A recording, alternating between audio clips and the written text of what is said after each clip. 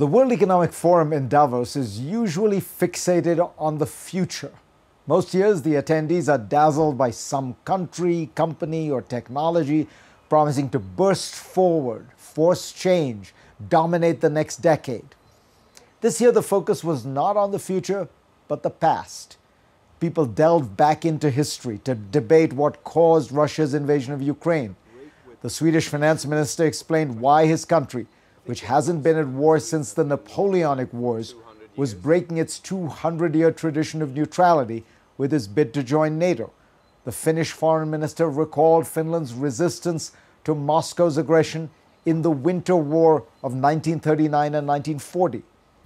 In past years at Davos, companies took storefronts and plastered them with jubilant signs cheering on dynamism, acceleration, and disruption. This time there were far fewer placards and slogans, some of them meekly promising sustainability or progress on climate change. The one genuinely cheerful sign I saw said, Will the Saudi GDP now be fueled by YOLO, FOMO, and WYWH? With oil at over $100 a barrel, the Saudi regime has much to be excited about. The storefront that dominated attention was one that used to be booked for years by Russians who hosted lavish cocktail parties and caviar tastings there with the country's moneyed elite. Now it has a sign in the window that reads in small, clear type this used to be the Russian house in Davos. Now it's the Russian war crimes house in Davos. Sponsored by the Ukrainian businessman Viktor Pinchuk, the rooms are filled with striking images and stories of Russia's barbaric actions in its campaign against Ukraine.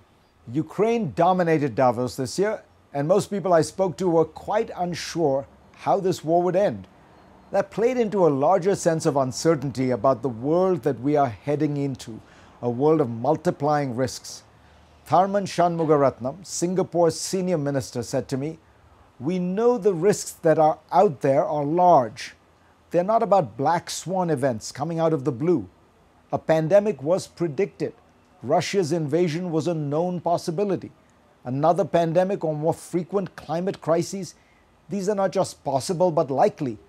We can't keep expecting and planning for a return to calm, untroubled times. A former central banker told me that economic policymakers felt that they were in uncharted territory. The old model, where inflation moves up ever so slightly and then you raised rates a tiny bit and all was well, that's dead. We're in a new world and we're all just experimenting. There is a broader foreboding, a sense that the era we have just lived through the three decades since 1990, may have been an unusual, perhaps even unique one, in which great power politics and geopolitical tensions that normally dominate and define international life were absent. The giddy trends of recent times, globalization, the information revolution, even democratization, were trends built on an edifice of power, America's superpower status. But that strength has been waning for some years, caused by Iraq, the global financial crisis, COVID. Now it is being challenged, first by China and then Russia. In all this gloom, there's one distinctly hopeful sign.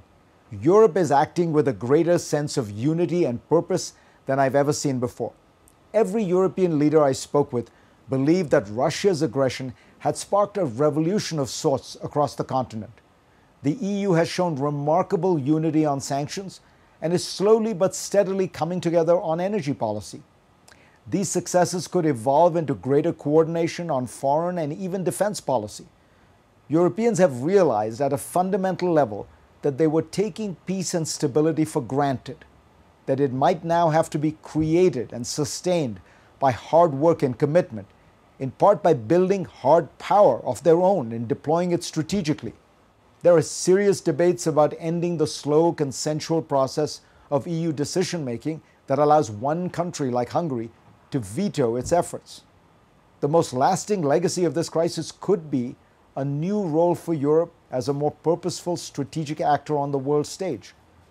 But for that to happen, this experience in uniting against Russia has to work. Only success can breed more success. Failure will doom this experiment. The founding fathers of the European Union, like Robert Schuman and Jean Monnet, were steeped in history and determined to ensure that war did not break out again in Europe. Today's statesmen need to infuse their day to day decisions with a similar sense of history. 50 years from now, no one will remember whether growth slowed on the continent for a couple of quarters in 2022 or if Brussels had to pay extra for natural gas from the US.